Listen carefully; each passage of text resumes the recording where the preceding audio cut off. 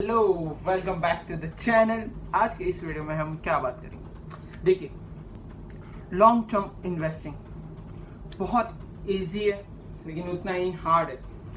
Easy ये है कि आपको लेके भूल जाना है, लेकिन हार्ड ये है भूलना। किसी को भी भूलना आसान नहीं होता, ठीक है? उस पर नहीं जाएँगे मेन चीज़ ये है कि लॉन्ग टर्म इन्वेस्टिंग करना सब चाहते हैं कि हाँ भाई, मैं भी बनने चाहता हूँ। मिस्टर की तरह, मिस्टर बीबी की तरह। लेकिन उसमें एक ट्रिक है मतलब एक थोड़ी पॉसिबिलिटी आपकी प्रॉब्लम कहो या पॉसिबिलिटी एक ये हो जाती है कि उतना चंक ऑफ़ मनी आप ब्लॉक नहीं कर सकते। अब अगर आप मनी उतना ब्लॉक कर देते तो बहुत अच्छा होता, लेकिन आप ब्लॉक कर नहीं पा रहे। अब अगर आप उतना मनी ब्लॉक कर नहीं पा रहे हैं लेकिन आपको लॉन्ग टर्म इन्वेस्टिंग भी करनी है तो कैसे होगा? देखो किसी भी चीज़ को होल्ड करने के लिए पेन भी आता है। अगर किसी, कोई रस्सी को भी आप ज़्यादा देर तक टाइट पकड़ोगे तो उसमें आपके हाथों पे निशान होंगे। वैसा ही लॉन्ग टर्म इन्वेस्टिंग है। मतलब मैं थियोरटिकली बहुत ज़्यादा ही वो कर रहा हूँ इसको, लेकिन ये उतना ही हार्ड है। और ये पूरा थियोरटिकली कॉन्सेप्ट है। आप इसमें नहीं कि चार्ट देखा, मैंने चार्ट देखा, आप भी बाय किया, फिर सेल किया। इसमें आपको होल्ड करना है। टू टू थ्री ईयर्स ये मिनिमम है। Five years six year ten years और आप कोई भी स्टॉक उठा के देखो, अगर वो अब तक है स्टॉक तो वो टेन ईयर्स में हमेशा अपनी प्रेजेंट वैल्यू से तीन गुना या दो गुना तो एटलीस्ट हुआ ही है। तो इसीलिए कह रहा हूँ कि इन्वेस्टिंग बहुत ईजी है। लेकिन उसको करना, उसको उतनी देर तक होल्ड करना, अब वो कैसे होगा? वो माइंड सेट पर डिपेंड करता है। आप अगर ये सोच के, अगर किसी शेयर को खरीदते हैं कि मैं इसमें मतलब एज ए वो ट्रेडर हूँ तो ट्रेडर क्या, की मेंटेलिटी क्या होगी कि मुझे ये लेना है, ये सौदा करना है, ये बेचना है? प्रॉफिट में बेचना है।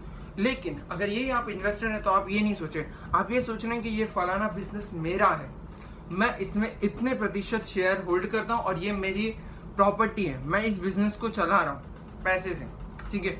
मैनेजमेंट से नहीं, पैसे से मैं चला रहा हूँ और मुझे, या आप उनमें से वो चीज़ें, ये बिज़नेस रियल में भी खोलना था, लेकिन वो इतने स्केल अप पे नहीं, अपना कैपिटल में तो आप एक छोटा सा परसेंटेज ऑफ़ उसमें शेयर एक्वायर कर रहे हैं और आप आप सोच रहे हैं कि यस मेरे पास अब ये कंपनी है, मेरी ये कंपनी है। तो ऐसे ही मैं एक एग्ज़ाम्पल देता हूँ टाटा मोटर्स का, ठीक है? ये एग्ज़ाम्पल है मेरे पास इसके, कोई शेयर्स नहीं है, ठीक है? मैं सिर्फ़ एग्ज़ाम्पल के लिए बता रहा हूँ कि कैसे होगा। तो मैं सोच रहा हूँ कि टाटा मोटर मेरा है, और मेरे को फ्यूचर में, मेरे को कारों में इंटरेस्ट है, और ये जेनुअनली कारों में इंटरेस्ट है। तो अगर मेरे को कारों में इंटरेस्ट है, मुझे मेरा स्टॉक्स चाहिए तो मैंने टाटा मोटर्स में खरीदा, क्योंकि ये आगे जाके फ्यूचर में ईवी स्टॉक्स लॉन्च करें।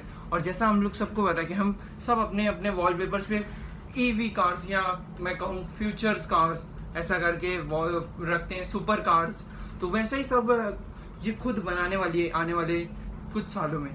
तो अगर मैं इसका कंपनी का शेयर होल्ड करता हूँ तो मैं ये सोचूँगा, अरे यार, जब वो शेयर जब वो गाड़ी में दिखूँगा पे और मैं सोचूँगा कि इसमें मेरा पैसा लगा ये फीलिंग है, ये सब सब थियोरटिकली असलियत में आपको उसके पैसे भी मिलेंगे, इसीलिए। और या तो आप ये पूरा मेंटालिटी का गेम कैसे होल्ड करना है?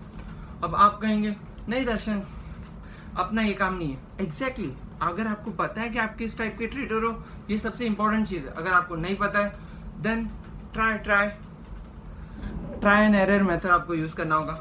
एक ना एक जगह तो आप लगे जाओगे। ठीक है? तो अभी के लिए इस वीडियो में इतना ही रखते हैं। अगर और भी कुछ कहना है आपको तो कमेंट सेक्शन में बताइए। और अगर लाइक करना है तो यू नो दैट और सब्सक्राइब तो करा ही होगा वरना आपको वैसे भी वीडियोस नहीं आएँगे। आ जाएँगे।